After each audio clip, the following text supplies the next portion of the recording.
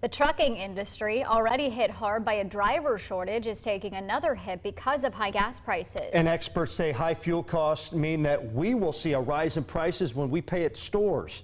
2 News reporter Allison Gens is live in Moraine with team coverage on how a local trucking company is trying to keep costs down. Allison.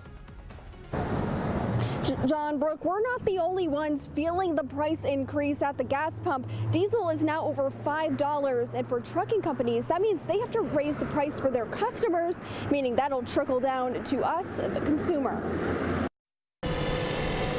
Home Run Trucking in Xenia hauls building materials to hardware stores and home builders. What they do is just one example of how important trucks are for shipping goods. Bringing your groceries to the store, to your cars, uh, to your TV, everything's brought by a truck and it's very vital to our our whole lifestyle so we have to have trucks because of rising oil costs vice president of operations tom milby says they've had to raise their fuel surcharge it now costs the customer 95 cents per mile compare that to 35 cents a year ago in 31 years i've been here i have never seen the price hikes the way they are right now because the trucking industry relies on oil and combined with the driver shortage Wright State Professor of International Business Riyad Ajami says it's going to cost the consumer more money. When you put these factors together, then there is likely to be shortages. Goods that you and I usually want to find on the shelves, they're not going to be there.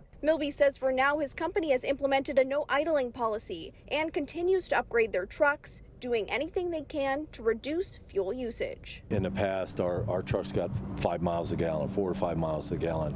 Uh, now the newer trucks are getting seven and eight miles to the gallon.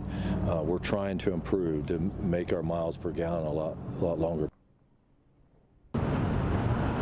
Milby says so far Home Run Trucking hasn't lost any customers because of the price increase. However, they fear that if costs at the pump and, and other places don't improve, that that could happen in the future. Live in Moraine, Allison Gens, 5 on 2.